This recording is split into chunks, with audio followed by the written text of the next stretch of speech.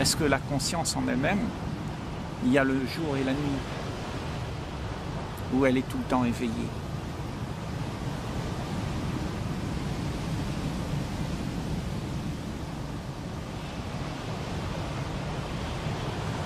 Alors pourquoi nous avons besoin de ces moments de blackout?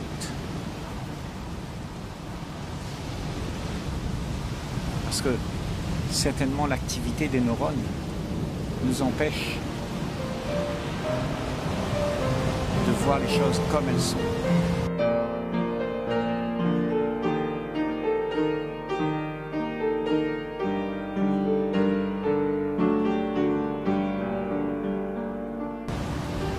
Mais si tu vois les choses comme elles sont,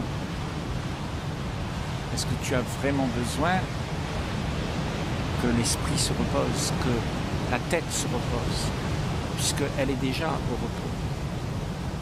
Donc le processus du temps inclut dans, sa bonté, dans son intelligence, de restaurer ton, ton, ton cerveau. Parce que ton cerveau est actif pendant la journée. Et tu passes du coq à l'âne. Et tu cherches des solutions tu fais, tu refais, tu défais. Mais tu passes toute ta vie à faire ça. Parce que il y a quelque chose qui doit s'arrêter, mais ta tête ne sait pas le faire. Parce que il y a tout le temps ce mouvement constant. Et ce mouvement constant, cette activité neuronale, ben, tu l'emmènes aussi dans tes rêves, dans, ta, dans ton sommeil, et ça continue. Ça continue à perturber l'esprit d'une autre manière, pas comme quand tu es éveillé, mais une phase de sommeil inclut justement euh, toute cette activité neuronale qui indique quelque chose, qui veut arranger les choses aussi. C'est pour ça que quand tu te réveilles, il y a cette beauté d'être revivifié. La nuit porte conseil, dit-on. Mais si pendant la journée, tu n'as pas ce train-tamas, ce tumulte que la pensée fait et qui t'occupe, et que, alors si tu peux alors si tu peux être calme, si tu peux être en paix et ne pas te laisser embarquer par l'activité de ce besoin constant de, chercher, de, demander, de quémander une solution pour que tu puisses être heureux, alors peut-être que tes nuits seront différentes elles seront plus paisibles. Peut-être que tu n'auras pas autant besoin de ce repos, puisque tu as juste à ce moment-là plus de temps, plus d'occasion pour rester vigilant dans la conscience. Parce que la conscience ne dort pas. La conscience, elle est tout le temps vivante, elle est là. Il n'y a pas de jour et de nuit dans la conscience. Il y a juste un mouvement perpétuel, éternel, qui se joue. Donc toi, comme tu n'es pas dans ce mouvement, tu es prisonnier du temps, c'est-à-dire de toutes les pensées que tu as, de qu'est-ce qui va se passer demain, comment c'était hier et comment tu aimerais être demain. Alors, il y a toute une activité neuronale qui se joue. Et cette activité, justement, elle va aussi se prolonger dans la nuit. Et donc ta tête continue. L'activité neuronale continue.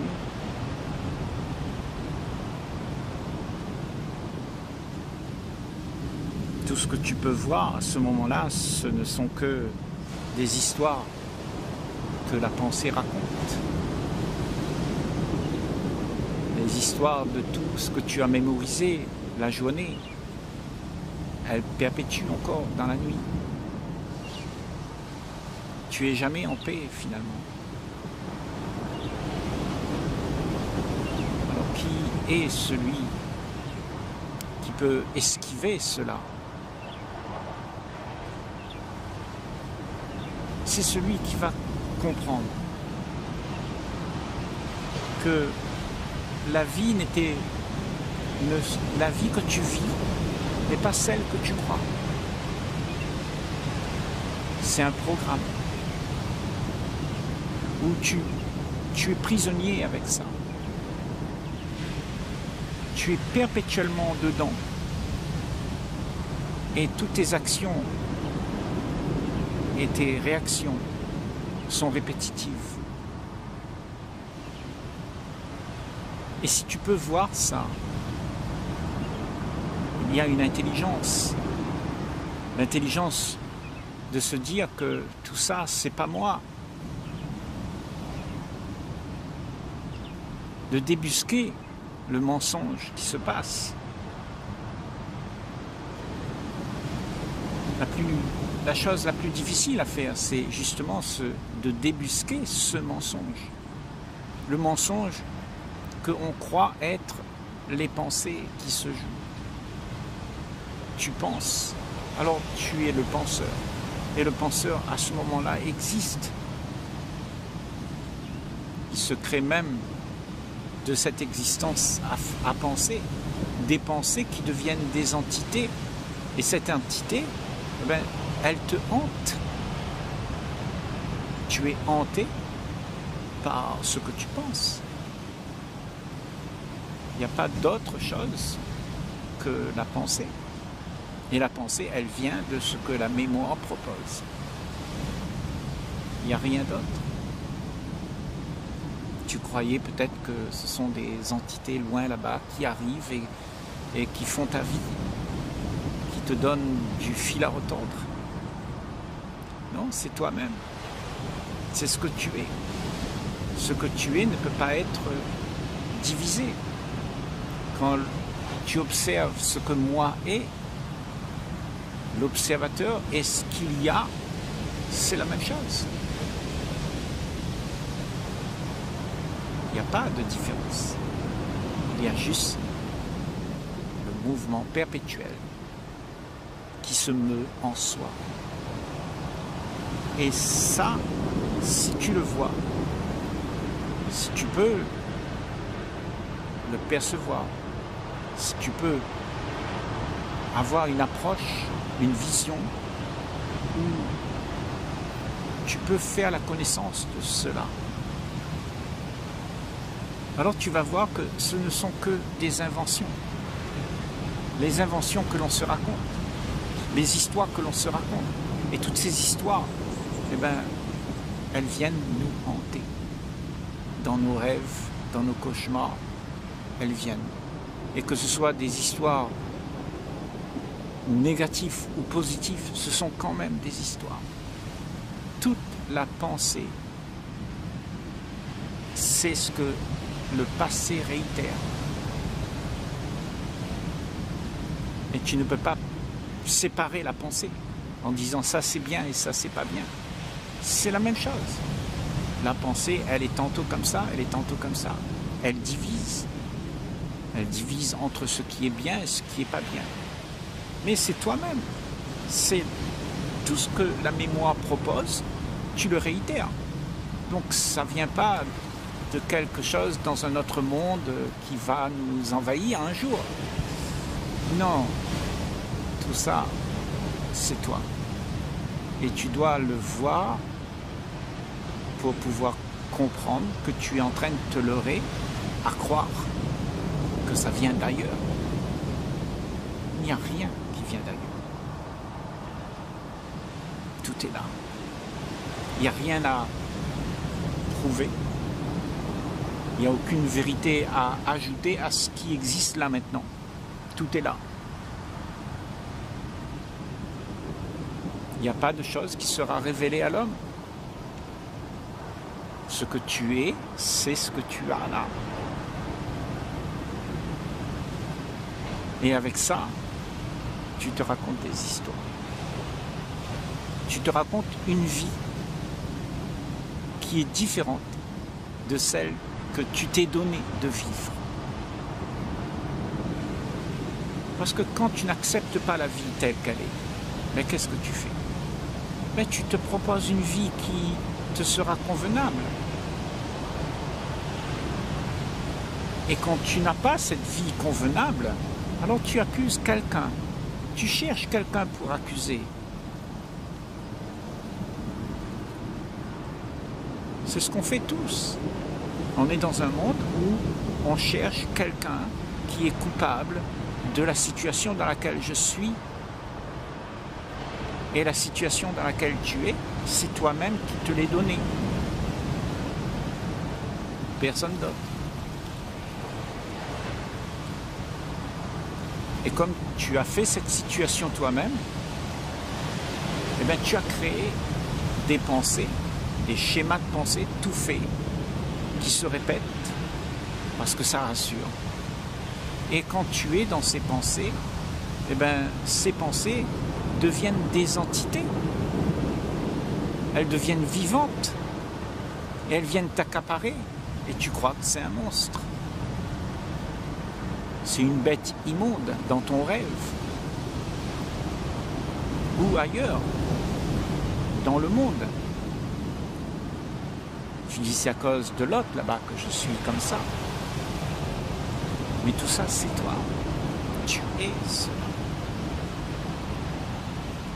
Donc il faut se connaître soi pour pouvoir sortir de ce problème que l'on a, de l'illusion de croire qu'il y a autre chose que ce que tu es. Ce que tu es, c'est tout. Et tu es tout ça. Tu es tout ce qui se passe. Tu es l'autre là-bas. Tu es le monstre que tu vois toi-même dans tes rêves. Mais tu ne veux pas le voir. Donc tu dis, quelqu'un me fait peur, un monstre là-bas. Mais ce monstre, c'est toi. Tes peurs que tu vois dans tes rêves, ben, c'est ce que tu es au plus profond. Ça se dévoile. Parce que là, il y a une clarté dans le sommeil où tout se révèle. Il n'y a plus rien sous le tapis à ce moment-là. Parce que la conscience n'est pas une conscience, puis, une inconscience. Elle est un tout, un seul tout. Donc on ne peut pas différencier l'un de l'autre et dire que un c'est ce que j'aime pas et l'autre c'est ce que j'aime. Tout est un seul tout. Et tout ça, c'est toi. Tu ne peux pas être différent de ce que tu as fabriqué toi-même. Par contre, si tu vois ce que tu as fabriqué, alors tu as toute l'intelligence pour mettre de l'ordre dans ce qui se joue. Mais celui qui ne voit pas, qui persiste à dire il y a quelque chose là-bas, alors celui-là, il sera toujours euh, impacté. Il va subir. Va subir son rêve, il va subir son, le monde autour de lui. Alors que c'est à toi, quand tu as cette intelligence, quand tu es au calme, quand tu regardes la vie avec euh, une grande acceptation. Alors c'est toi qui mets de l'ordre. Parce que dans l'acceptation, la possibilité de voir les leurs. Mais quand tu es distrait par le leur, ton esprit est embarqué, tu ne vois pas tu ne vois que ce que tu veux voir, mais pas ce qu'il y a à voir. Parce que l'illusion, c'est ça. C'est de voir ce que tu veux voir, mais pas de voir ce, ce qui existe vraiment. Et ce qui existe vraiment, c'est ce que tu as fabriqué. et puis tu l'as lancé dans le monde. Et tu dis ça, c'est pas moi. Et après tu cherches quelqu'un encore pour accuser. Non, c'est toi.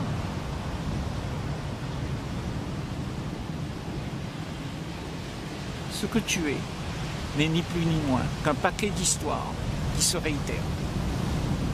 Et ces histoires sont ancrées au plus profond de soi, dans des consciences ancestrales, des peurs ancestrales, des émotions ancestrales que l'on répète. Parce que tout ça, ça nous a été légué. Légué. Et tu t'es identifié à ça. Et tu as dit ça, c'est moi. Et moi, c'est l'ensemble de toutes ces choses qui ne peut pas être dissocié. Ce que moi est, est indissociable. Moi, c'est ce que tu as dans toute la, journée, que tu vis. Toutes les actions, les, les envies, les détresses, les gaietés, les, les plaisirs que tu as. Tout ça, c'est moi. Et moi ne peut pas être séparé en, en division. C'est l'individu indivisible, moi. Mais tu vas te créer un monde où tu vas croire qu'il y a là-bas et puis il y a moi ici. Donc tu te sépares des autres. Mais si tu observes le moi, tu vas savoir que ce que moi est et ce que l'observateur regarde, c'est la même chose. Il n'y a pas, il n'y a rien de, différent, tout est la même chose. Donc tu as besoin de te regarder pour savoir que ce que tu es ne peut pas être divisé. Et quand tu as vu que cette chose est indivisible, alors celui qui voit le témoin de la scène qui se joue, c'est lui qui va mettre un peu d'ordre. Parce que tu seras au-delà de ce que moi est. Parce que c'est vrai que toute cette ambiance, toute cette mémoire, c'est pas vraiment ce que tu es dans la réalité. Ça, c'est une réalité que tu t'es fabriquée, tu appelles ça moi. Mais ce que tu es, c'est au-delà de tout ça. Au-delà de toute mémoire. Et alors à ce moment-là, tu es libre. Tu es libre d'être ce que tu es. Et ce que tu es, c'est quelque chose que tu ne peux pas comprendre tant qu'il y a moi. Parce que moi veut exister. Et ce qui est, ben, il se met derrière parce qu'il ne force pas.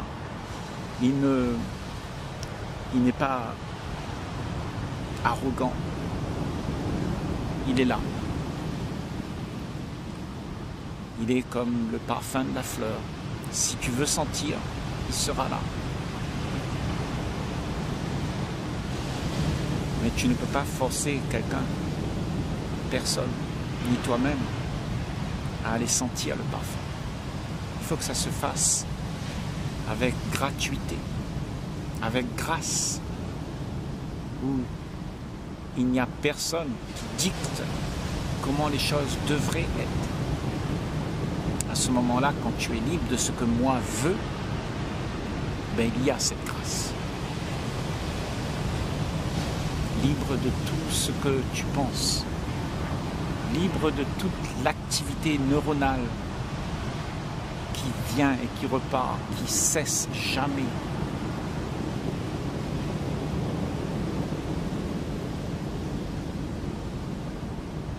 Chacun d'entre nous, on a cette capacité, capacité de voir au-delà de toute l'activité matérielle. Parce que la pensée, dans son activité, c'est un phénomène matériel. Parce qu'il vient de la mémoire de quelque chose de matériel. Et donc, cette substance chimique qui traverse nos esprits, qui traverse nos neurones, elle s'installe comme étant vraie.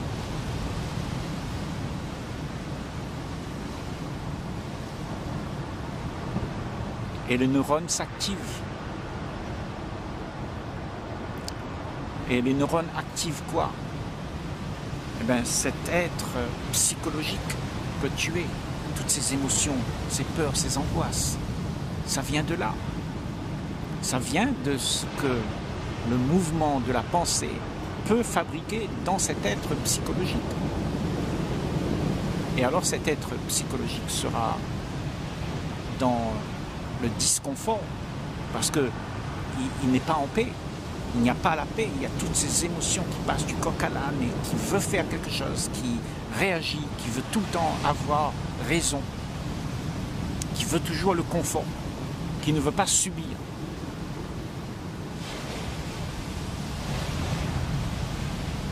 Tu peux comprendre tout ça si tu observes, parce que c'est ce qui se passe. Je ne suis pas en train de, de révéler quelque chose d'extraordinaire. Si tu es un peu attentif, si tu, veux être un peu attentif, tu peux le voir.